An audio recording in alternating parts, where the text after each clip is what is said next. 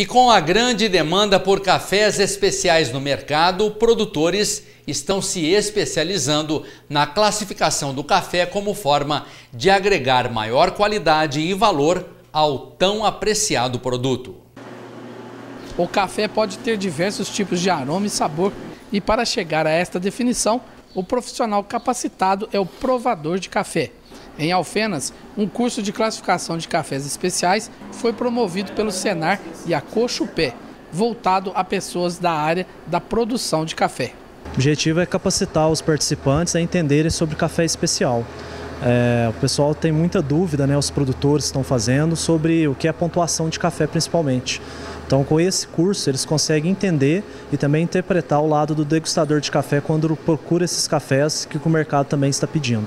O Senai oferece os cursos para o campo, para a família do campo, para os produtores rurais. E o curso é gratuito.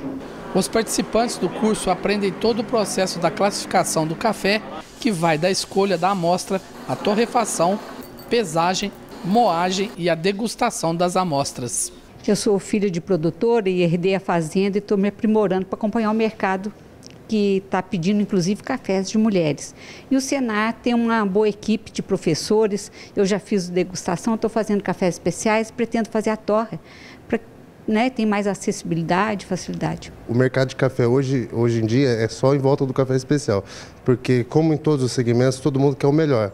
Precisamos sempre ter o melhor do melhor para atender a, a demanda e quem não tiver com esse pensamento em mente está fora do mercado, que commodity hoje não está mas nem cobrindo os custos e é melhor para o produtor e para o consumidor, agregando valor e qualidade ao mesmo tempo.